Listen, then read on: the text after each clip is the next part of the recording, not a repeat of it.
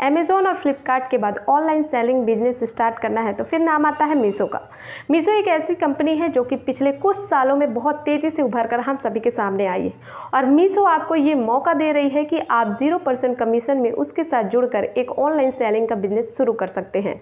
इस बिज़नेस को आप कैसे करेंगे, कितनी लागत लगेगी, कितना खर्चा होगा, इसके लिए आपको क्या क्या चीज़ों की ज़रूरत होगी, आज की वीडियो में हम पूरा डिटेल पे शेयर करेंगे। यदि आप भी मीशो के साथ जुड़कर मीशो के सेलर पार्टनर पार्टनर बनना चाहते हैं तो इस वीडियो को पूरा ज़रूर देखिएगा, क्योंकि इस वीडियो में मैं ए टू जेड पूरी जानकारी आपको देने वाली हूँ। चलिए शुरू करते हैं, लेकिन उस, लेकिन उससे पहले यदि अभी तक मेरे चैनल को आपने सब्सक्राइब नहीं किया तो चैनल को सब्सक्राइब करके बेल पर ज़रूर क्लिक कर लीजिएगा।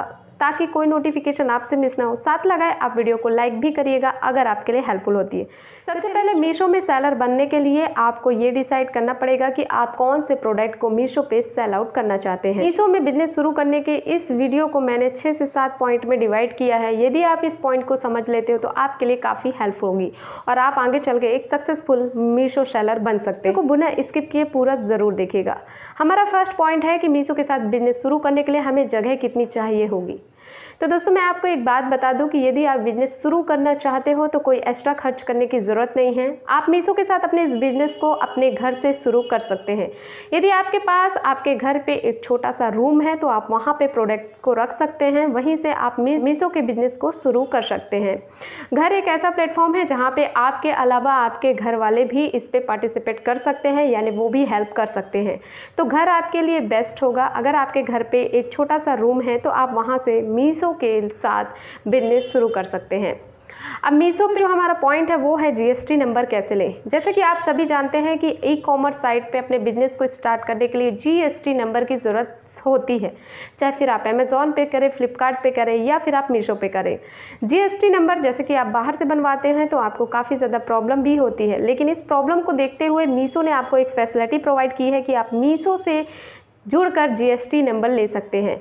जब आप मीसो पे सेलर अकाउंट पे रजिस्टर करेंगे तो वहाँ पे आपको जीएसटी नंबर का भी ऑप्शन मिलता है। यदि आप मीसो की तरफ़ से जीएसटी नंबर के लिए अप्लाई करेंगे तो आपको महज सात सौ निन्यानवे रुपये ही पे करने होंगे। और यदि आप कहीं बाहर से जीएसटी नंबर के लिए अप्लाई करते हो तो आपको कम से कम एक से डेढ़ हज़ार रुपये खर्चा करना होता है, साथ ही भाग दौड़ भी करनी होती है। ये आपके ऊपर डिपेंड करता है कि आपको जीएसटी नंबर कहाँ से लेना है। अगर आप मीशो से जीएसटी नंबर लेते हैं तो ये उतने ही समय में आपके पास पहुँचता है, जितने समय पर आप कहीं बाहर से या अनदर प्लेटफॉर्म से अप्लाई करते हैं। तो आप चाहें तो मीशो से जीएसटी नंबर के लिए अप्लाई कर सकते हैं। इसके लिए हमें किन किन चीज़ों की ज़रूरत होगी? तो जैसा कि मैं आपको बता दूँ कि सबसे पहले आपको उस प्रोडक्ट की ज़रूरत होगी जो आप मीशो पे सेल आउट करना चाहते हैं। उसके अलावा, यदि आप सिस्टम रखते हैं, अपने पास सिस्टम मतलब कंप्यूटर रखते हैं लैपटॉप या डेस्कटॉप तो बेहतर होगा।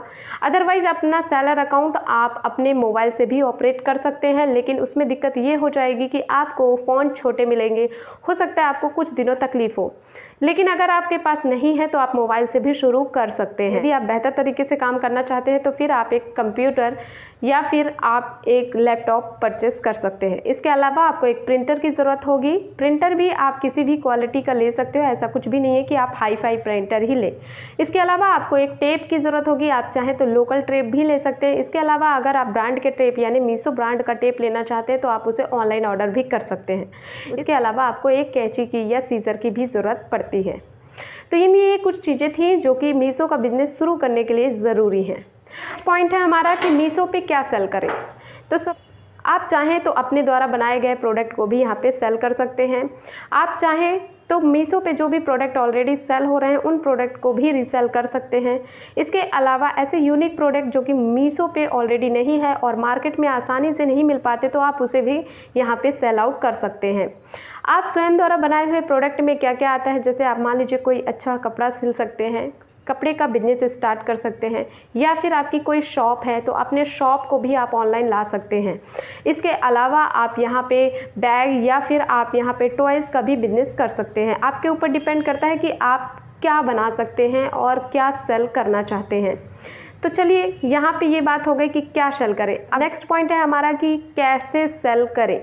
क्योंकि मीसो पे जब हम जाते हैं तो वहाँ पे तो सेलर अकाउंट का कोई ऑप्शन ही नहीं आता। मैं आपकी जानकारी के लिए बता दूँ, जब आप मीसो डॉट कॉम पर जाते हैं तो ये एक शॉपिंग वेबसाइट है, जहाँ पे आप शॉपिंग कर सकते हैं, ठीक है? मीसो के साथ सेलर बनने के लिए आपको जाना पड़ेगा।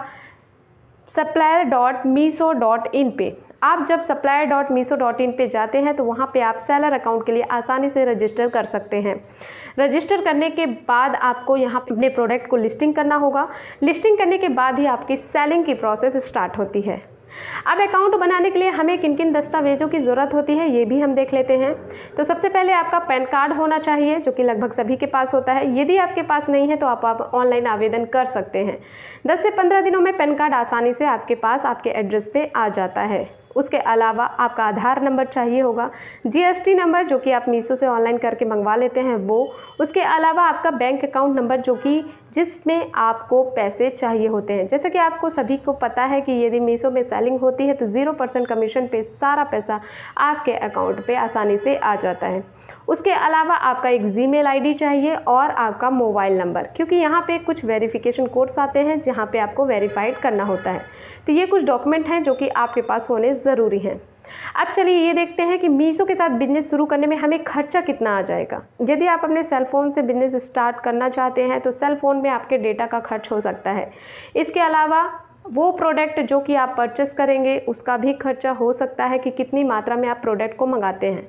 या फिर आप स्वयं से अगर कोई प्रोडक्ट बनाते हैं और उसे सेल आउट करना चाहते हैं तो जो उसमें मटेरियल की लागत लगती है, वो आपकी खर्च पे आता है। इसके अलावा यदि आप एक कंप्यूटर या लैपटॉप लेते हैं तो महज दस से पंद्रह हज़ार में आपको एक कंप्यूटर या लैपटॉप मिल जाता है सेकेंड हैंड और यदि आप एक प्रिंटर लेते हैं तो वो भी सेकेंड हैंड मिल जाता है। ज़रूरी नहीं है कि आप हाई फाई क्वालिटी का ही प्रिंटर लें।